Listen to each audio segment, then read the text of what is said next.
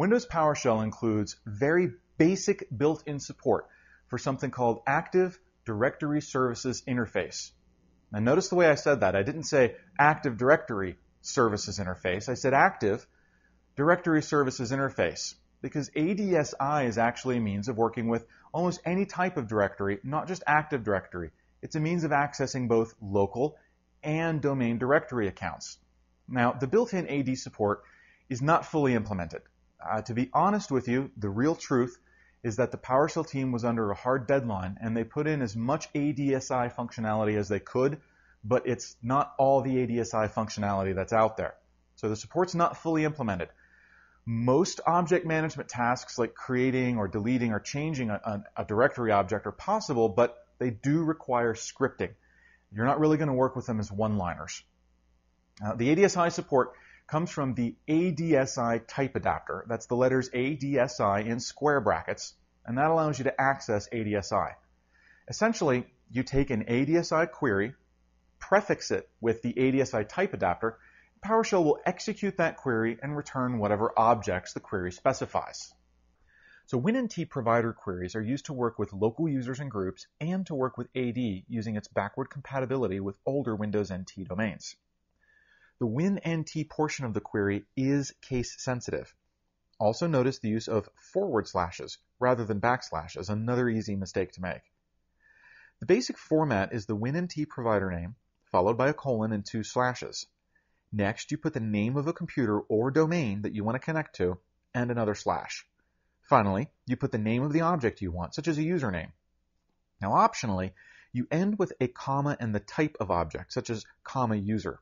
I recommend always including the object type to help prevent errors in your script. For example, if you are retrieving a group from a local computer and for some reason there's a printer queue with the same name, you could accidentally wind up retrieving the printer queue if you don't specify the object type. ADSI has two main providers, and the first is WinNT. This works with local user and group accounts, and it also works with AD domains giving you a flat view. It doesn't see organizational units. That can be a benefit because the WinNT provider allows you to query Active Directory domain accounts even if you don't know where the account is located within the domain without having to do searching or anything. Here's an example. Here's a very quick example of using PowerShell for local account maintenance. I start with an ADSI query. And honestly, drilling into writing these queries is a bit beyond the scope of this course, but if you're interested, Pick up a copy of the book ADSI Scripting TFM if you'd like a more complete discussion as well as reference materials.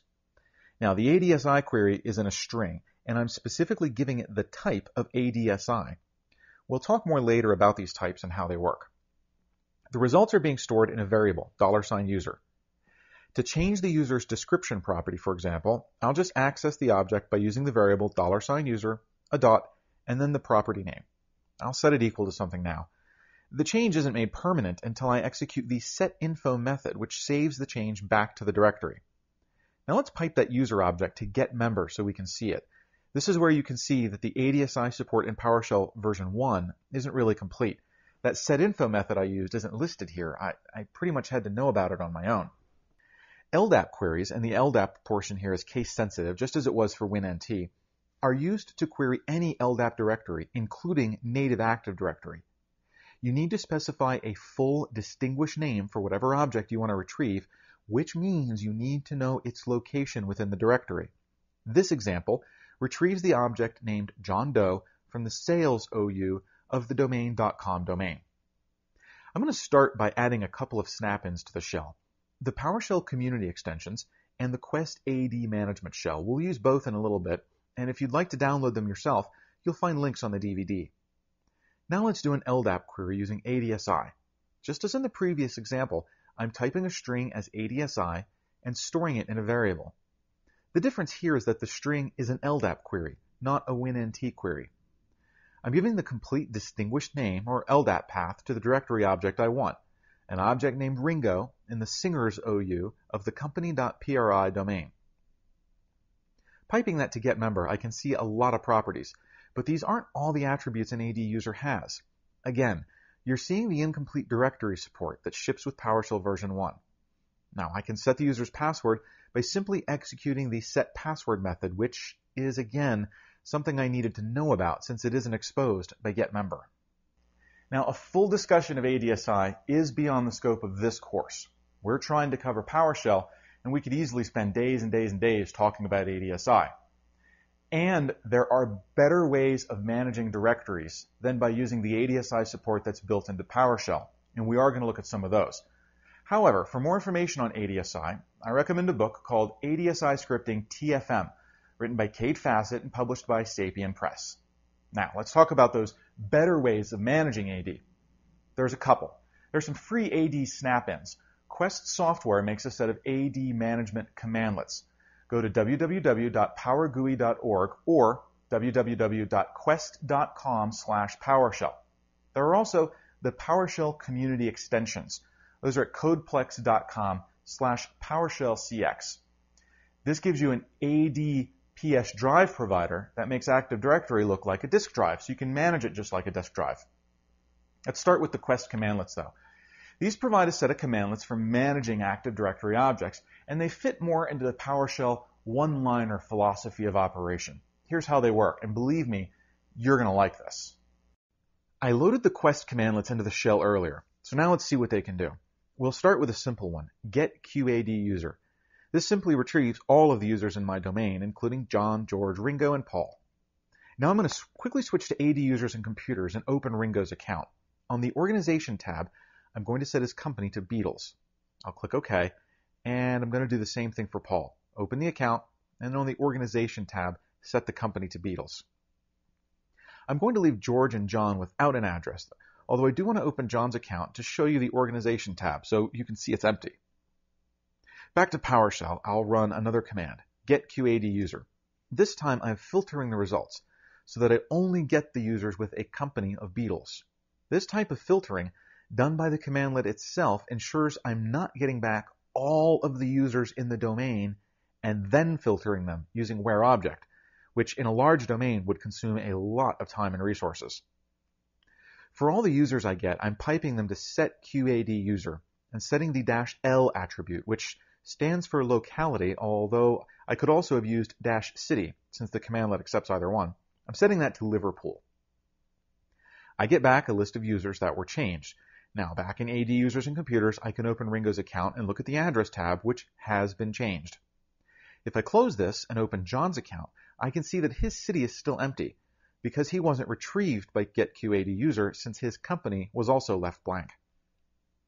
All right, here is my favorite PowerShell one-liner. Let me start by first opening provision1.csv so that you can see what's in it. This is a fairly simple CSV file. Note that it does have column headers, and the remaining lines provide values for those columns. Okay, back to the shell. I'm starting by importing that CSV file using PowerShell's built-in import CSV commandlet. This reads the entire CSV file and parses it. Each line in the file becomes an object, and the columns of that CSV file become the properties of those objects. So I have a bunch of objects at this point, and I'm piping them to for each object. For each line in the CSV file, I'm executing new QAD user. I specify an organizational unit for the new users, and then I specify the attributes. For the name attribute, I'm using the current CSV line's first name column, plus a period, plus the last name column. For the SAM account name attribute, I'm using the logon name column from the CSV file, and so forth. This allows me to grab the columns from the current line of the CSV file and feed those values to new QAD user. The result? When I hit enter, the entire CSV file is imported and users are created. Back in AD users and computers, you can see that I've allowed them to be created with the default state of disabled. All right, back in the shell. I'm going to create a new global security group named Tokyo. Then I'm going to add some members to that group. The members I'm adding are whatever objects are retrieved by getQADUser, restricted to users with the locality or city of Tokyo. Back in AD users and computers, I can refresh to see my new group, open it, and see that its members are those users which had the specified city in their profile. The PS Drive provider and the PowerShell community extensions automatically makes your machine's Active Directory domain, whatever domain it's a member of, look like a disk drive. You can then manage and navigate the domain using commands like cd, dir, del, move, copy, ren for rename, and so forth. You treat AD as just another form of hierarchical storage. It's pretty cool. It's definitely a little bit more limited in types of management tasks you can do than the Quest commandlets, but they each have their place. Let's take a look and see what it looks like. Back in the shell, I'm going to run get ps drive. Notice that there's a drive named company, which is the short name of my Active Directory domain. The provider is listed as Directory Services. So what happens if I change into that drive by running cd company? Well, I can get a directory of the top level objects, mostly OUs containers. If I cd into the singer's OU and get a directory, I see all of the users I'd created. If I run del George, he was never my favorite Beatle, he's gone, which I can verify with another directory listing. This is another way to manage AD using PowerShell. The Quest commandlets are a free add-in for working with AD objects, and the Community Extensions PS Drive provider is also a free add-in for working with AD objects. This chart is designed to highlight the differences between the three main ways of working with AD and PowerShell.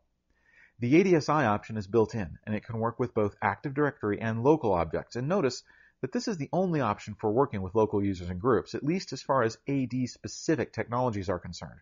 You can also use WMI to work with local users and groups. So what about managing the directory infrastructure? You know, sites, services, trusts, and so forth.